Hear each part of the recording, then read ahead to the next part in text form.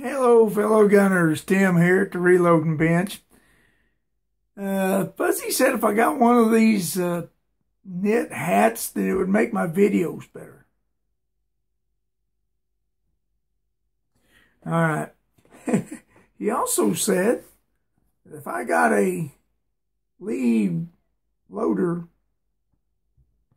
it would make my loads better. I don't know about that.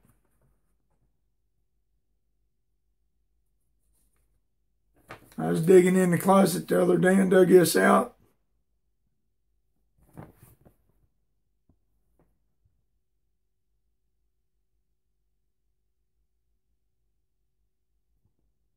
Now my finesse was showing paperwork ain't near as good as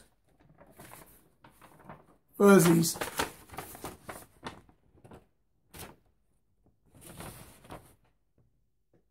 Here's the instructional book, or instruction book.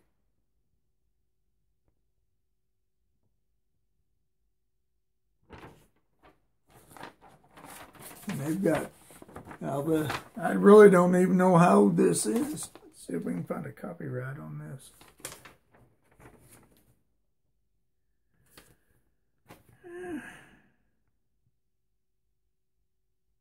All right, here's a copyright right here.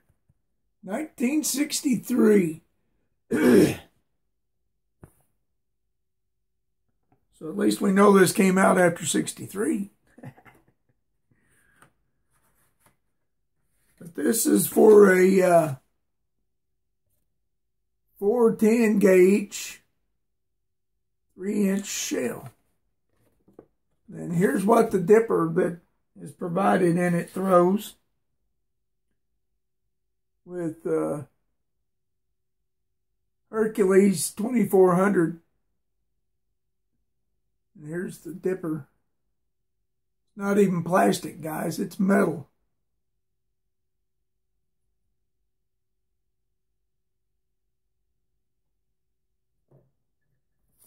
And I've got a dipper. You can tell this, this has really been used a lot. it's been in my closet for probably 20 years. no, maybe 15. But the, it's, it's metal.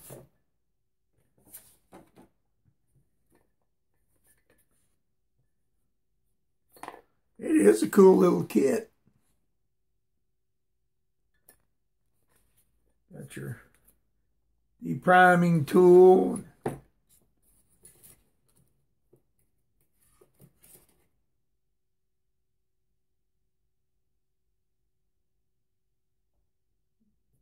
Oh, I don't see the thing. Oh, there. You shut your uh, hull on there to uh, knock the uh, primer out.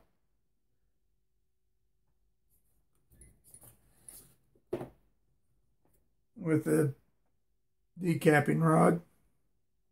You'd have your shell in here, knock it right out. and then, guess I should look at the instructions.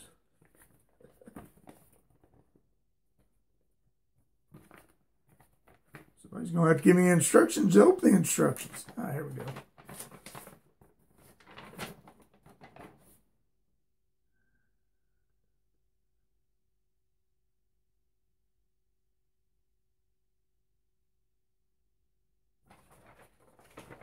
Well, it's showing that you uh, set your primer on top of this, then your hull.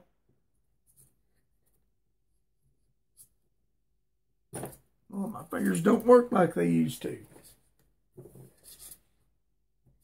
Well, anyway, then you take the little push rod and push it down and it knocks the primers in. Then you uh, charge it and put a wad in your shot. then you put your hull in through the bottom here and then start down on it and it starts to crimp. Then you take this little rod thing here and just with manual pressure, push it down and finish your crimp.